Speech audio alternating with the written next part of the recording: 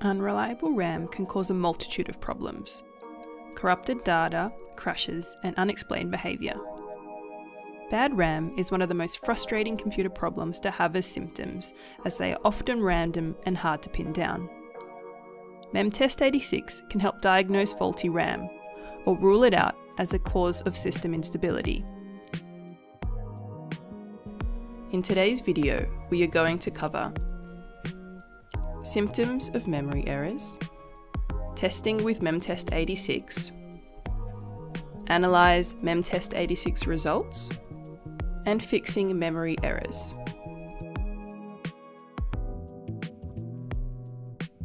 For more information on how to download, install and run MemTest 86, please see our previous video linked below. Symptoms of memory errors and common causes. To get started, it is best if we understand how to identify memory error symptoms and how these errors commonly manifest in our system. Common symptoms that point to memory errors include data corruption, blue screen of death, application crashes, and system lockups or freezes.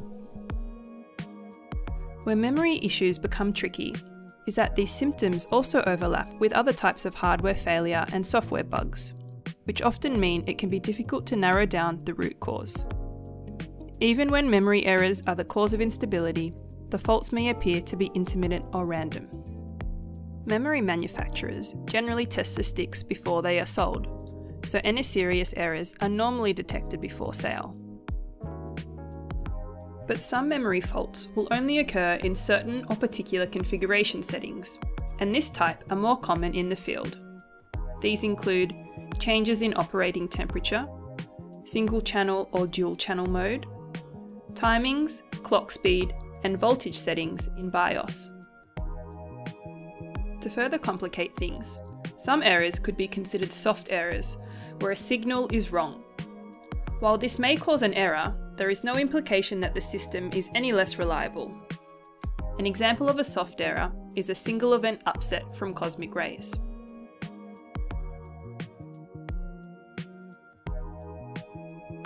How to test your memory, and more specifically, how MemTest 86 tests your RAM for faults.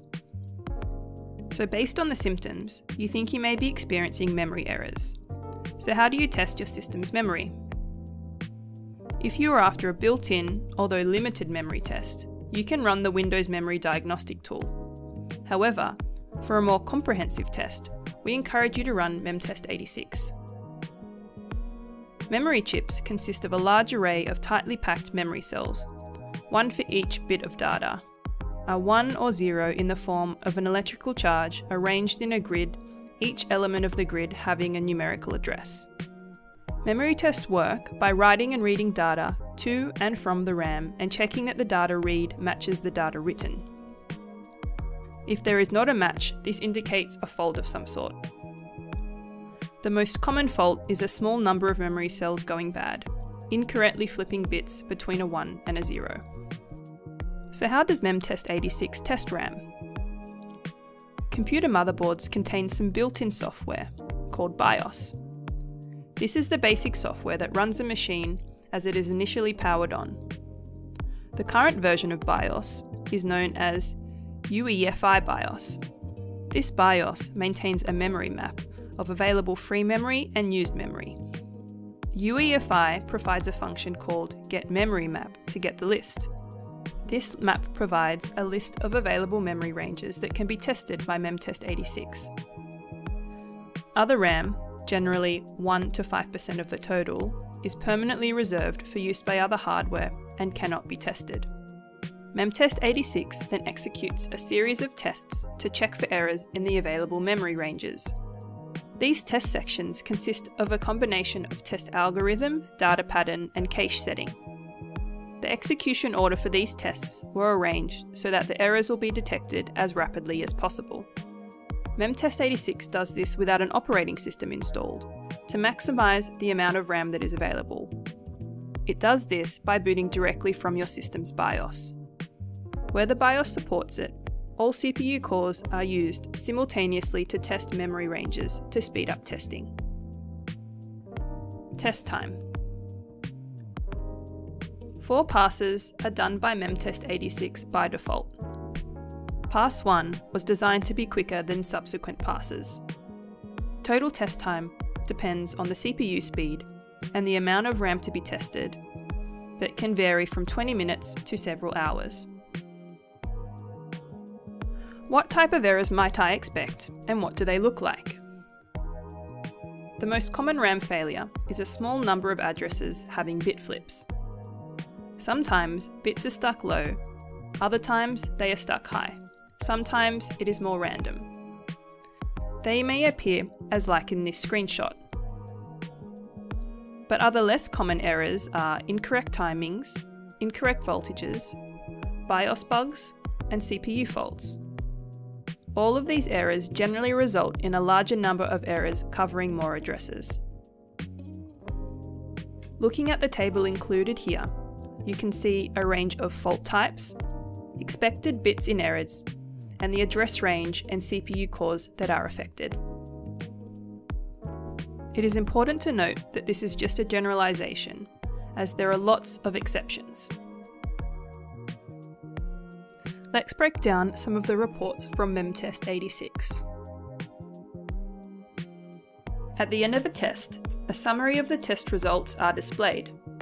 The following fields cover the lowest addressed where an error has been reported, the highest addressed where an error has been reported, a mask of all bits that have been in error in hexadecimal, total bits in error for all error instances, and the min, max, and average bit in error for each individual occurrence, the maximum of contiguous addresses with errors, list of CPU cores that detected memory errors, the number of errors that have been corrected uncorrected by ECC hardware.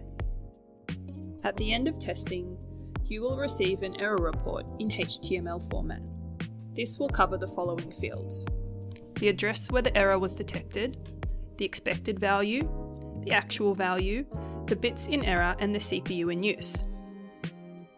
A sample of a common error report can be seen here. This highlights that the errors happened on test 8, random number sequence, the CPU in use, the address where the error was detected, and the expected and actual result.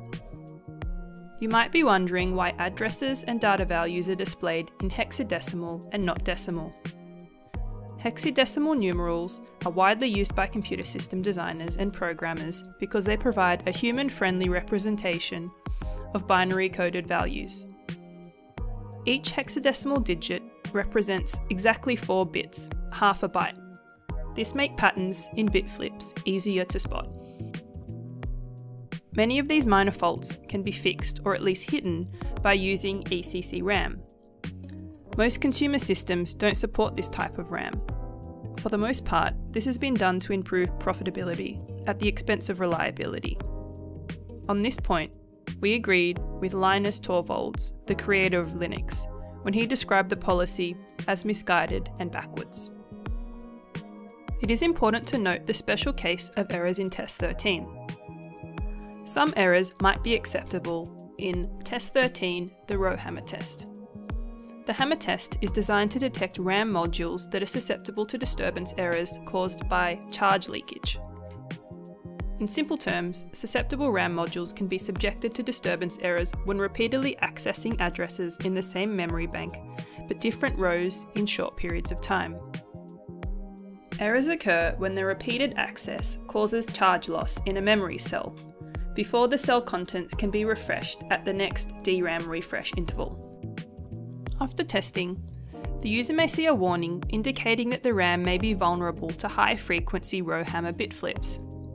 This warning appears when errors are detected during the first pass, but no errors are detected during the second pass.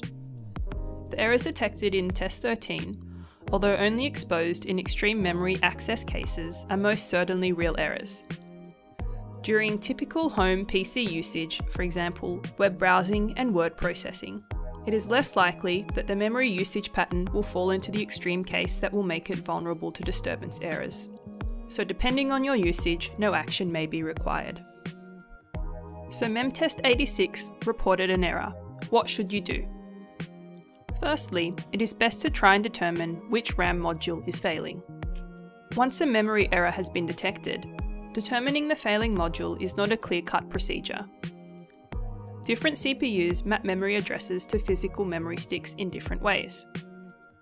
Features like dual channel RAM with interleaving, channel hashing, and NUMA make the mapping of addresses to modules, banks, and rows very difficult.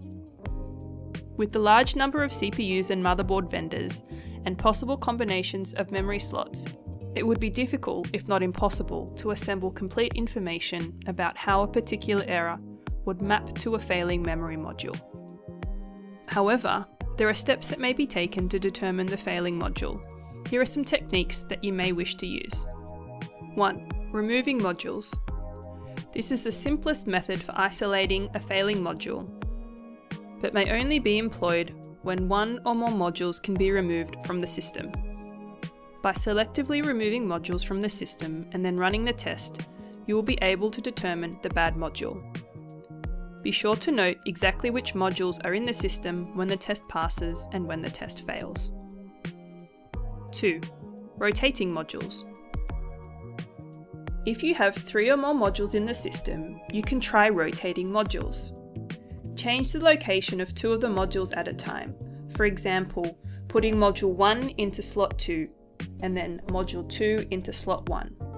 Run the test and if either of the failing bit or address changes, then you know that the failing module is one of the modules that has just been moved. By using several combinations of module movement, you should be able to determine which module is failing. 3 replacing modules. If you are unable to use either of the previous techniques, then you are left to selective replacement of modules to find the failure. Memtest 86 version 10 now supports decoding and identification of the DIMM module on which a particular error occurred. This can be used to more efficiently narrow down potentially bad RAM modules. This is done by decoding the memory address with an error and locating the physical hardware that corresponds to that address. The possibility of multiple channels, multiple ranks, interleaving and hashing of addresses makes this process complex. The Memtest 86 Site Edition supports decoding of the individual memory chip in which the error occurred. The DRAM chip naming U0 to U7 can be adjusted with config parameter chip map. In the case for this example, B2 refers to the channel and slot where the faulty module is located. U3 refers to the third chip on the RAM module. A graphical UI summary report is available on test completion, and a per DIMM error count table can be accessed in the HTML report.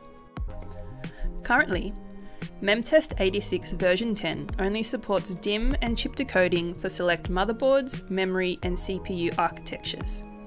You can see a list of the currently supported hardware on the right.